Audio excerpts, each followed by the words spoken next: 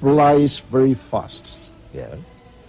We met for the first time in 1986. You and I. That's right. When I was mayor of Shanghai. That's right. It was on a roof out of doors. Near out the- of door near the Huangpu River. Exactly. Exactly. And uh, I'm very happy to meet you again today. And I you, and I thank you very much for granting us this interview. You studied the speeches of Thomas Jefferson and Abraham Lincoln as a youngster? Mm. When you were learning English? In fact, I was in middle school. And later, when I was a teacher in the night school in Shanghai, I also selected Lincoln's Gettysburg Address as part of my course.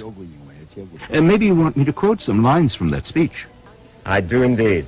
Four square and seven years ago, our fathers brought forth on this continent a new nation, conceived in liberty and dedicated to the proposition that all men are created equal. Why, why did you learn that by heart? I'm particularly interested in the phrase, all men are created equal. All men are created equal. Because this was a great influence on the students when I was in middle school. And I think what Abraham Lincoln described in his article still remains the goal of American leaders today. Especially the last paragraph, the government of the people, by the people, and for the people, never push from theirs. But Abraham Lincoln was elected by the people.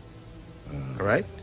That's right. You are the last major dictatorship, the, the last major communist dictatorship in the world. You mean I'm dictatorship? Well, of course. A developmental dictatorship is what, is what we believe it is. Am I wrong? Of course. This is big mistake. Big mistake. Of course. Yes. This shows you don't know China that well. Oh, I don't know China that well. I've been Yeah. here half a dozen times. 我想要问你问题，What means dict- dictatorship? Dictatorship? When you do not have freedom of the press.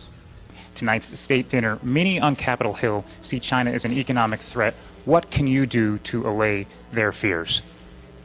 呃，由于翻译的关系，我先这个问题问胡主席。刚才我的同行提到关于人权的问题，胡主席还没有回答这个问题呢，是不是想回答呢？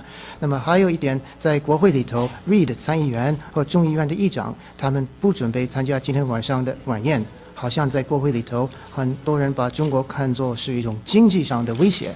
technical translation and interpretation problem, I did not hear the 因为- question about the human rights. 因为他是在向总统先生提问，啊，因 What I know was that he was asking a question directed at President Obama. 嗯，我想这一点我可以已经先澄清了。至于说你要提出这个问题啊，我完全可以回答你这个问题。 As you raised this question, and I heard the question properly, certainly I'm in a position to answer that question. 我和奥巴马总统已经有八次会晤， 每次会晤啊，我们都就共同关心的以及各自关注的问题进行了深入交流，坦诚的交换意见，其中也包括啊人权问题。 President Obama and I already met for eight times. Each time we met, we had an in depth exchange of views in a candid manner on issues of shared interest and on issues to our each other's concern. And on the issues we have covered, we also discussed human rights. 中国始终致力于保护和促进人权，中国的人权事业取得了举世公认的显着成就。 China is always committed to the protection and promotion of human rights. And in the course of human rights, China has also made enormous progress recognized widely in the world. 中国承认并且尊重 人权的普遍性原则，但同时我们也认为，人权的普遍性原则必须与各国的国情相结合。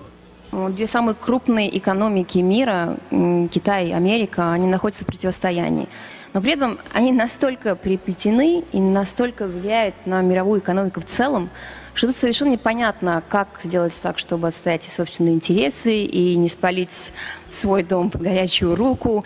Ну, Трамп, мы же знаем, какой он переговорщик, да, потрясающий бизнесмен. Значит, он сперва разрывает существующий договор, потом перестает играть по этим правилам, затем начинаются вынужденные переговоры, и в конечном итоге он получает тот договор, ну, который выгоден ему. Но, во всяком случае, так было с нафтой, примерно так же было с Японией. Как будет с вами?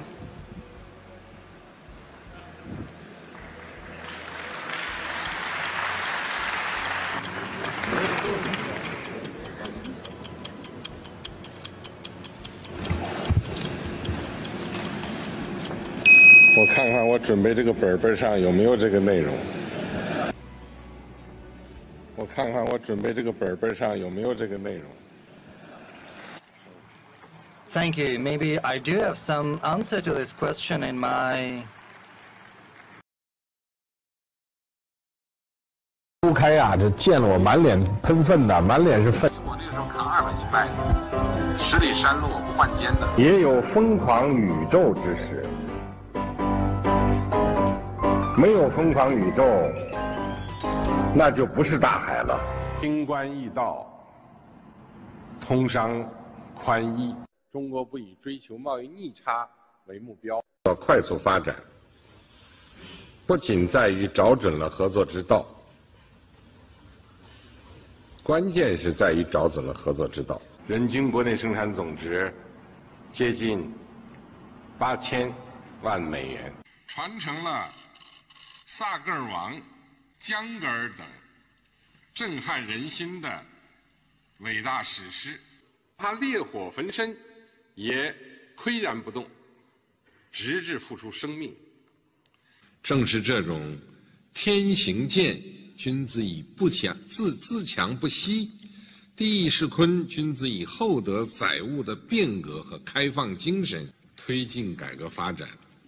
没有可以奉为金科绿玉的教科书，也没有可以对中国人民颐使气指的教师爷。逆全球化思潮正在发酵，老人瞻仰、子女教育等方面的操心。